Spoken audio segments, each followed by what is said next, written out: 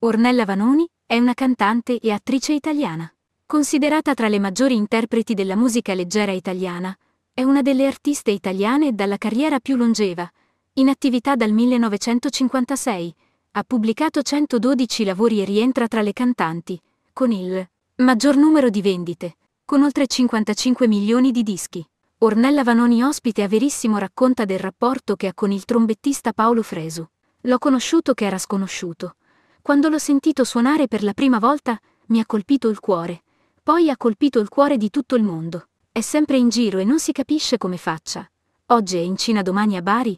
Mi dice sempre, finché ce la faccio. Ha raccontato la protagonista assoluta della musica italiana. Gli ho anche chiesto di suonare al mio funerale. Lui mi ha detto, se muoio prima io canti tu al mio. Gli ho detto va bene, dice scherzando Ornella Vanoni a Silvia Toffanin che resta stupita dalla naturalezza, con cui la cantante affronta il tema della morte. La morte fa parte della vita, prosegue la cantante da ragazzi, non ci si pensa poi quando si arriva a questa età è chiaro che non si ha più davanti mille anni. Da un momento all'altro potrebbe capitare e allora bisogna viverla senza timore, senza paura conclude.